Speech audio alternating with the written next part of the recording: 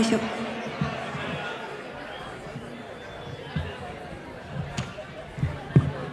Melio, mundu bat. Zemo zaudete? Eh? Ondo?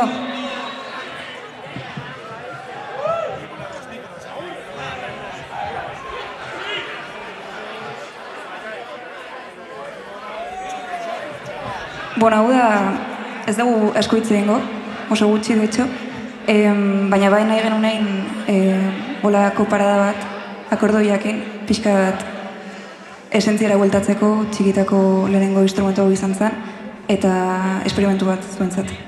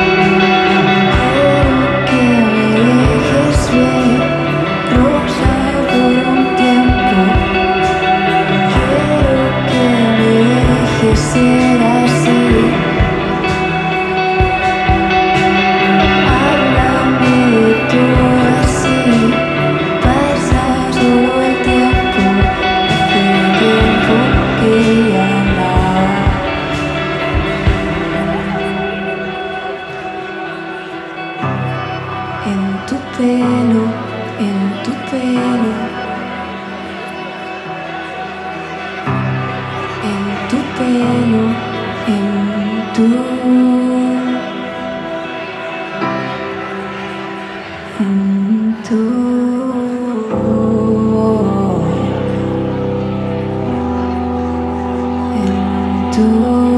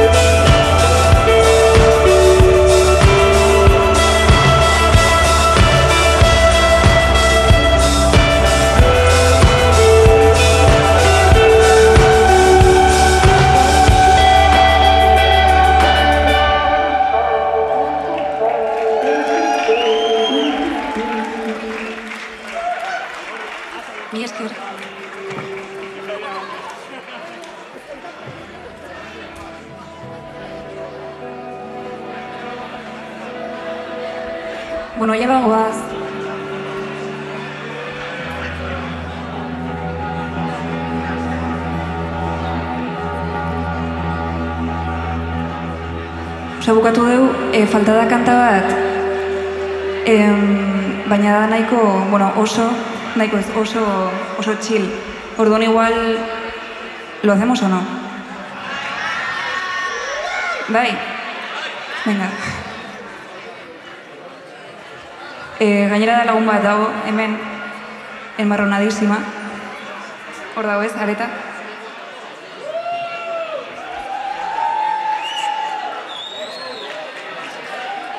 Ah, claro, ez, ez digo abixatu noiz izango zan kanta, osea, rollo muy... Em... bueno, mei esker, eh? Torri zate, hemen zaudete, gustora. Bago baita ere, kreston biztak,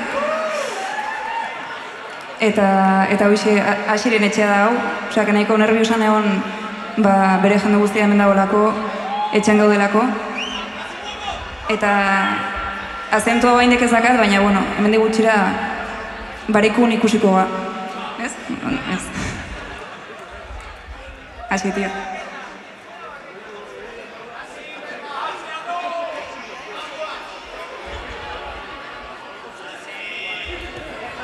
Bueno, eta gero hemen dakat maletin bat gorrak ekarri ditut, e, eta olako gauzak hasik nahi baituzue ikusi, ba gero gaude.